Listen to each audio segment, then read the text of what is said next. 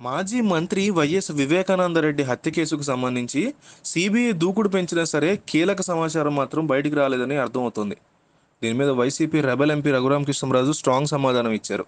వివేక హత్యలో సిబిఐ ప్రకటన ఇచ్చిందని హత్య కేసుకు సంబంధించి నిజానిజాలు తెలిపిన వారికి ఐదు లక్షలు ఇస్తున్నాం అంటున్నారని సమాచారం చెప్పేవారికి సిబిఐ ఐదు లక్షలతో పాటు జగన్ ప్రభుత్వం మరో తొంభై ఐదు లక్షలు ఇవ్వాలని ఆయన పేర్కొన్నారు.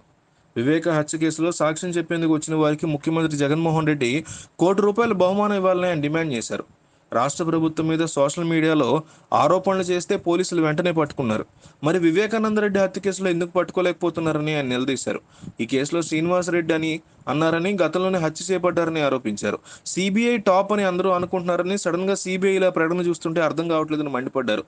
హూ కిల్డ్ బాబాయ్ అని ప్రజలు అనుకుంటున్నారని ఆయన ఎద్దేవా చేశారు. వివేక కూతురు సునీతారెడ్డి కూడా రక్షణ కోరారని అన్నారు. సిబిఐ ప్రకటనతో వివేకానందరెడ్డి హత్య కేసు త్వరగా విచారణ అవుతుంది అనుకుంటున్నానని అన్న ఆయన వెల్లడించారు. ఇక ఏపీ స్టేట్ డెవలప్మెంట్ కార్పొరేషన్ లిమిటెడ్కి చార్టర్డ్ అకౌంటెంట్ కావాలని ప్రభుత్వం ప్రకటన ఇచ్చిందని ఆయన చెప్పుకొచ్చారు.